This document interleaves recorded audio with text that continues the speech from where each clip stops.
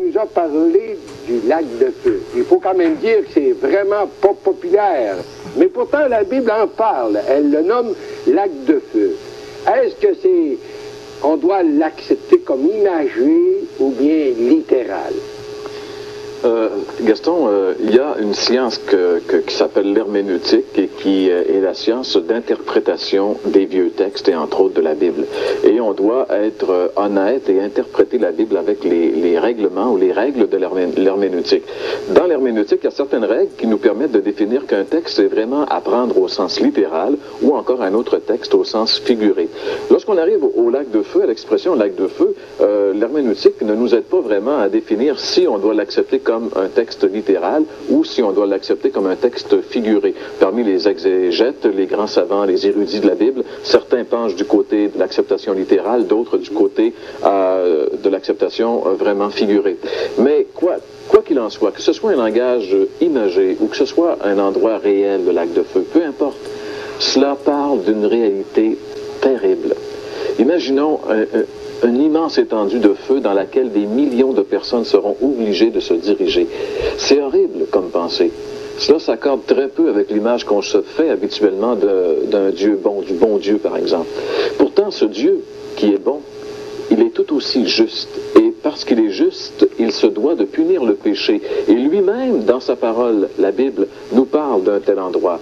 Ce n'est pas le fruit de l'imagination humaine, mais c'est bien la révélation de Dieu qui nous révèle l'existence du lac de feu.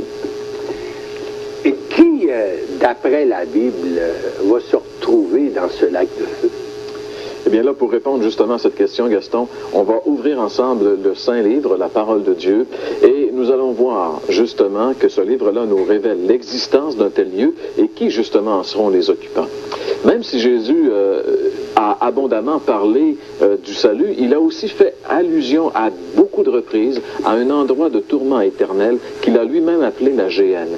C'est le livre de l'Apocalypse qui nous donne le plus de détails concernant ce lac de feu.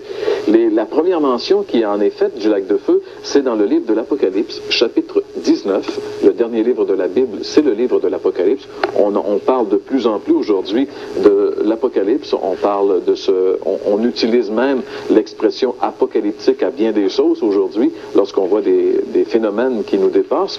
Eh bien, dans ce livre-là, qui existe depuis 2000 ans, qui a été écrit par l'apôtre Jean lorsqu'il était prisonnier dans l'île de Patmos, au chapitre 19 et au verset 20, nous lisons ceci. Et la bête fut prise, et avec elle le faux prophète, qui avait fait devant elle les prodiges par lesquels il avait séduit ceux qui avaient pris la marque de la bête et adoré son image. Ils furent tous les deux jetés vivants dans l'étang ardent de feu et de soufre. Alors, ce verset ici nous parle de deux personnages qui seront les premières personnes à se retrouver dans le lac de feu, la bête et le faux prophète. Qui sont-ils? Eh bien, celui qui se nomme la bête, la Bible l'appelle aussi l'antéchrist ou l'antichrist. C'est celui qui s'élèvera bientôt comme le dictateur mondial, celui qui défiera Dieu, se faisant lui-même Dieu, et qui conduira l'humanité vers le pire chaos de son existence. Ce sera un homme politique. Le faux prophète sera le bras droit de la bête et dirigera le plus grand mouvement religieux de tous les temps. Il amènera l'humanité à vouer un culte à la bête, à adorer littéralement son, image, l'image de la bête, et tous ceux qui s'y opposeront le feront au péril de leur vie. C'est un peu comme le culte qui était rendu à César à l'époque de l'Empire romain. Voilà donc les deux premières personnes à être jetées dans le lac de feu. Apocalypse chapitre 20 et le verset 10 nous parle d'un troisième personnage qui sera aussi précipité dans le lac de feu. Apocalypse 20 chapitre, verset 10 dit ceci, Et le diable qui les séduisait fut jeté dans les temps de feu et de soufre, où sont la bête et le faux prophète? Ils seront tourmentés jour et nuit au siècle des siècles. Le diable, c'est le diable. Le diable, c'est l'ennemi numéro un de Dieu. Le mot diable vient du mot grec diabolos, qui signifie le calomniateur, et en hébreu, il est nommé aussi Satan, qui parle, qui signifie littéralement adversaire. C'est le premier et le plus puissant de tous les esprits déchus. Le principal adversaire de Dieu et de l'homme, c'est l'accusateur des chrétiens. Il est l'accusateur, il pousse les hommes à pécher. La Bible l'appelle aussi le prince de ce monde de ténèbres. La, Bible appelle aussi le prince, le Dieu de ce siècle, le Dieu du siècle, c'est-à-dire l'esprit de l'air dans lequel nous vivons. La Bible déclare même que le monde entier est sous la puissance du malin dans la première épître de Jean. Donc, après avoir essayé de séduire les hommes et de les entraîner loin de Dieu, le premier homme, Adam, jusqu'à cette dernière révolte qui est décrite dans l'Apocalypse, le diable se retrouve enfin où Dieu le destinait. Jésus lui-même avait déclaré euh, pour qui le lac de feu a été créé. Dans l'évangile de Matthieu au chapitre 25, après avoir parlé euh, qui précéderaient le retour, son retour, le Seigneur Jésus nous a donné aussi beaucoup d'informations justement sur le lac de feu. En Matthieu 25, il dit ensuite, il dira à ceux qui seront à sa gauche, retirez-vous de moi, maudit, allez dans le feu éternel qui a été préparé pour le diable et pour ses anges. Jésus a parlé ici du feu éternel qui a été préparé spécifiquement pour le diable et ses anges, les esprits qui l'ont suivi dans sa révolte contre Dieu. Malheureusement, beaucoup d'autres personnes ont préféré suivre les mensonges du diable plutôt que la vérité du Seigneur Jésus. Et eux aussi vont se retrouver malheureusement dans le lac de feu. Dans l'Apocalypse chapitre 20, les versets 14 et 15, nous parlons encore d'une autre catégorie de personnes qui vont se retrouver dans le lac de feu. Et ce chapitre-là a pour particularité de parler justement du jugement dernier, du jugement du grand trône blanc. Et ici nous lisons ceci au verset 14, Puis la mort et le séjour des morts furent jetés dans l'étang de feu. C'est la seconde mort, l'étang de feu.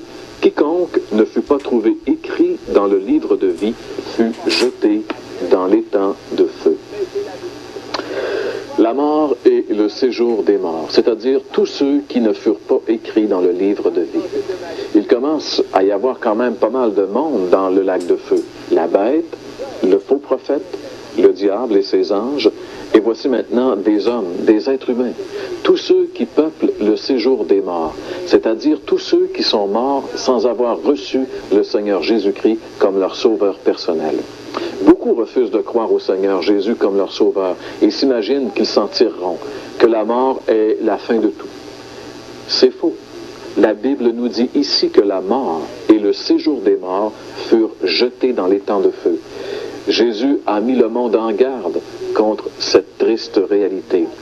Dans l'Évangile selon Matthieu au chapitre 7 et au verset 13, nous avons à nouveau les paroles de Jésus où il met ici en garde les gens contre cette réalité certaine du lac de feu. En Matthieu 7, verset 13, par exemple, nous lisons ceci, Entrez par la porte étroite, car large est la porte, spacieux le chemin qui mène à la perdition, et il y en a beaucoup qui entrent par là. Jésus a dit qu'il y en a beaucoup qui marchent sur le chemin large, le chemin de la perdition. Beaucoup, contrairement à peu qui sont sur la voie du salut. Tous ceux qui sont morts sans être nés de nouveau par la foi en Jésus-Christ se retrouveront pour l'éternité dans les temps de feu. C'est la Bible qui le dit.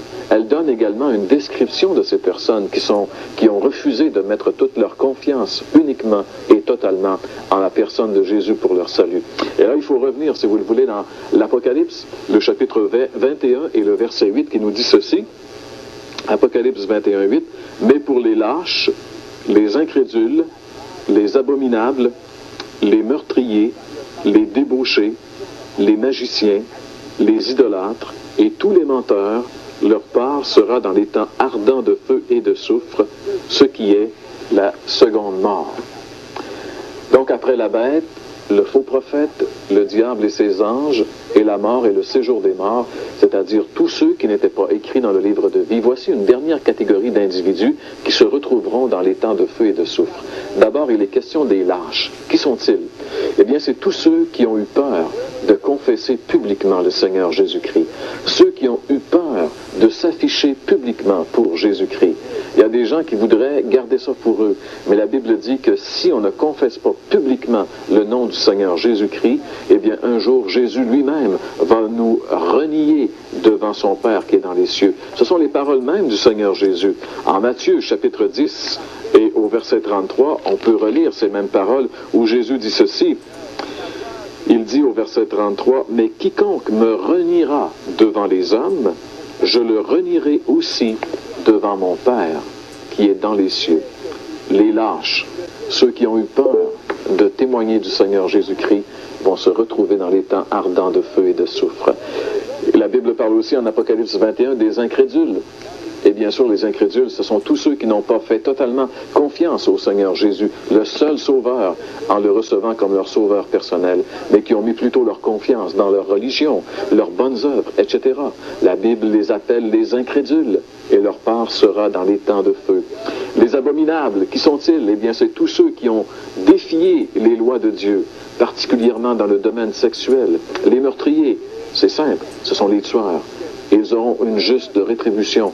Souvent aujourd'hui, lorsqu'on parle de la justice des hommes, on peut vraiment parler d'injustice. Mais dites-vous bien ceci, la Bible dit que Dieu est juste et il y aura un jour une vraie justice et tous les meurtriers se retrouveront dans les temps ardents de feu et de souffle. Les impudiques, ce sont ceux qui ont vécu dans la fornication et dans tout autre comportement sexuel qui est contraire aux lois de Dieu.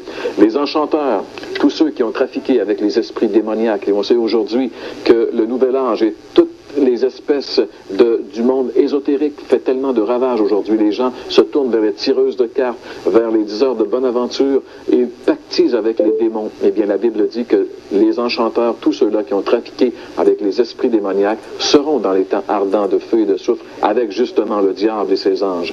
Les idolâtres, ce sont tous ceux qui ont aimé et servi quelque chose ou quelqu'un plutôt que Dieu, à la place que seul Dieu aurait dû occuper dans leur vie. Les menteurs, ce sont tous ceux qui ont aimé et vécu dans le mensonge plutôt que dans la vérité. En réalité, on peut dire que dans le lac de feu, il sera occupé, ce lac de feu, par tous les ennemis de Dieu, Gaston. La Bible ne dit-elle pas que par nature, tous les hommes sont des ennemis de Dieu? Justement, et ça, cela, cela, est très sérieux parce qu'en réalité, ça veut dire que nous tous qui vivons sur la terre, nous, nous devrions aboutir dans le lac de feu. La Bible, est, elle dit que la position naturelle de tous les hommes, c'est ennemi de Dieu à cause de notre nature déchue que nous avons héritée d'Adam en venant dans ce monde. En Colossiens, l'épître de Paul, que Paul écrit euh, aux Colossiens, au chapitre 1 et au verset 21, nous pouvons, lire justement cette grande vérité. Colossiens, chapitre 1, verset 21, ça dit ceci. Et vous qui étiez autrefois étrangers et ennemis par vos pensées et par vos mauvaises œuvres, il vous a maintenant réconciliés par sa mort dans le corps de sa chair. Ce verset qui nous révèle cette terrible vérité nous dit aussi, heureusement, comment changer cette situation? Comment, d'ennemis que nous sommes par nature et de ce fait destinés à des temps de feu, nous pouvons changer cette situation? Ils sont maintenant réconciliés par sa mort dans le corps de sa chair. La seule façon d'éviter de se retrouver dans cet étang de feu pour l'éternité, avec la compagnie du diable et de ses disciples, c'est de se réconcilier avec Dieu par la foi au Seigneur Jésus-Christ. Euh, Jean-Pierre, est-ce que d'être jeté dans les temps de feu, ça signifie que euh, c'est la destruction euh, complète? Ça, c'est une bonne question parce que beaucoup de personnes aujourd'hui, Gaston, euh, même euh, certaines sectes qui vont dans les maisons, tout ça, disent que euh, non, la destruction finale de l'étang de feu sera une destruction finale, mais c'est pas ce que la Bible dit. Et c'est ça qui est le plus terrible. Si on revient un petit peu dans l'Apocalypse, le dernier livre de la Bible qui nous parle de l'étang de feu et qui nous donne beaucoup de détails, la Bible nous dit justement que le lac de feu ne sera pas la destruction finale. Il est dit en Apocalypse 20 au verset 10, ils seront tourmentés jour et nuit au siècle des siècles. Incroyable. Des souffrances incroyables, sans répit. Ce n'est pas en vain, mes chers amis, que Jésus, le Fils de Dieu, a souffert la croix.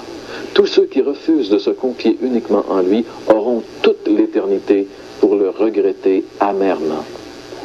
Donc, il y a un moyen d'échapper et de, ne pas se retrouver là pour souffrir dans ce lac de feu. Oui, il y a un moyen, Gaston, et il n'y en a qu'un seul. Et c'est la raison d'ailleurs pour laquelle nous sommes là, nous, à l'heure de la bonne nouvelle, semaine après semaine, année après année. Ce moyen, c'est la foi au Seigneur Jésus-Christ. Jésus est venu sur la terre pour nous sauver de l'enfer, pour nous sauver du lac de feu. Si nous refusons délibérément la solution de Dieu, si il ne nous restera qu'à nous en mordre les doigts pour toute l'éternité. Et c'est justement là qu'il y aura des pleurs et des grincements de dents.